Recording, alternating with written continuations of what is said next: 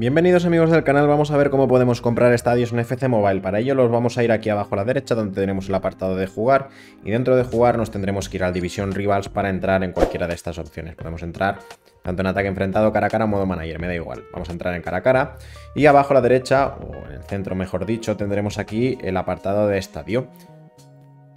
Vale, aquí podemos cambiar todos los estadios por los, todos aquellos que tengamos. Si no tenemos ninguno, no pasa nada porque lo que tendremos que hacer entonces es, vamos a poner que queríamos seleccionar este de aquí y si le damos aquí al, botoncito de, de, información, nos sale cómo conseguir, cómo comprar, cómo alcanzar las metas para lograr esos estadios. Por ejemplo, este de aquí de las artes se desbloquea al progresar en el pase estelar. Entonces, para poder comprarlo, nos tendríamos que ir atrás, nos vamos al menú principal, nos dirigiremos al pase estelar y fijaros que si yo avanzo dentro del pase estelar, pues aquí en recompensa me aparece este estadio que se puede comprar, se puede ganar, como lo queráis llamar, porque primero tendríamos que pues, conseguir este nivel de pase estelar. Cualquier pregunta me la dejas en comentarios, suscríbete y deja un like.